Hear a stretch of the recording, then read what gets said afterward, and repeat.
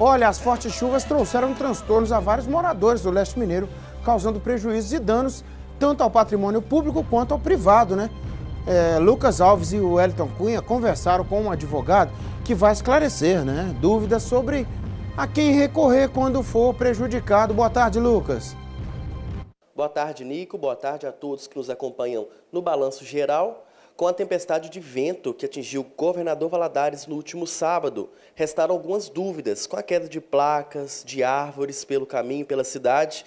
E nós estamos conversando hoje com o advogado José Francisco. Seja bem-vindo ao Balanço Geral. É, no caso de eletrodoméstico, a energia de muita gente ainda não voltou e por causa da queda de árvores, é, muita gente ficou sem energia de surpresa. Então, com, por causa dos eletrodomésticos que possivelmente podem ter queimados. Boa tarde, boa tarde a todos.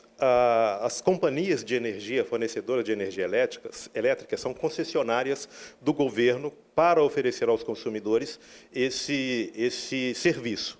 Existem um mínimo de tempo que essas uh, empresas podem eh, deixar o consumidor sem eh, o fornecimento da, da, da energia, eh, sendo ultrapassado esse mínimo, normalmente entre 4 e 5 horas por mês, sem que a, a, haja o fornecimento do, da, da, energia elétrica, e ultrapassado esses limites, a, as empresas já são responsabilizadas. Se houve algum dano em razão ao consumidor, em razão dessa falta de energia, o consumidor pode procurar a companhia elétrica, no caso de Minas Gerais, a CEMIG, para relatar esses eh, ocorridos, né, esses acontecimentos, demonstrar a propriedade do equipamento, seja geladeira, seja televisor, computador, enfim, ar-condicionado, aquilo que estivesse ligado e foi afetado pela ausência de energia.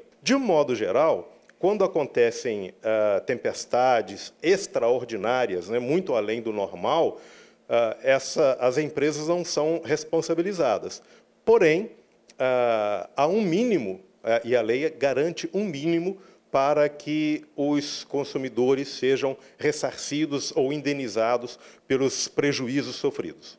Muito bem, Nico. É, tempestade não tem como prever, mas estar seguro daquilo que está acontecendo, se proteger, é, prevenir também, com é, protegendo né, as, a, o carro, o veículo, colocando ele dentro da garagem. Tudo isso também é um meio de se proteger com a tempestade que pode estar vindo.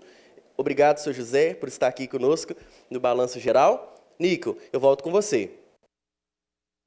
Valeu, garoto. É, boas dicas, né? Importante isso aí, né? Pessoa ter ciência do que vai acontecer, né? A quem pode recorrer. O Lucas tá aí arrebentando, hein, Lucas? Tamo junto, garoto.